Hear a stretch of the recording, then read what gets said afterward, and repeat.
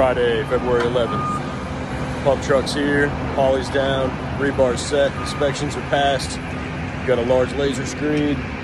That's the first truck rolling in. Concrete's going down right now.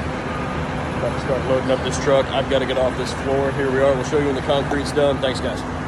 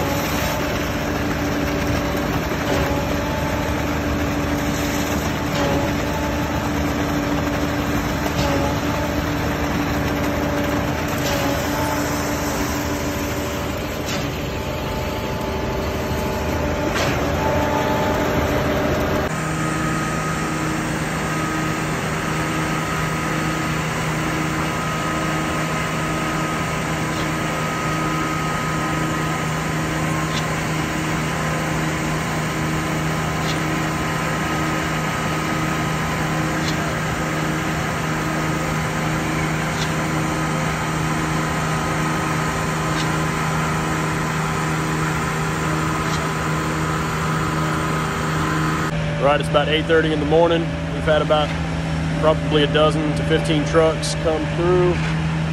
Um, probably about a third of the way done. They're double feeding that pump right there, two trucks at a time. So should be uh, should be loaded out here pretty soon. I would say within the next couple hours, should have everything poured and then just finish work. So probably have another 6,000 square feet to go, and then we should be should be all set. Just another update. We'll uh, we'll come back to you in a little bit.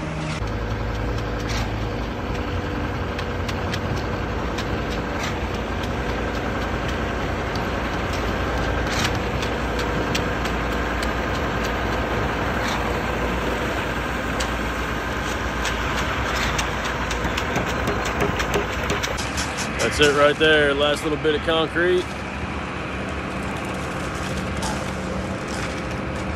Rest of it's finished up.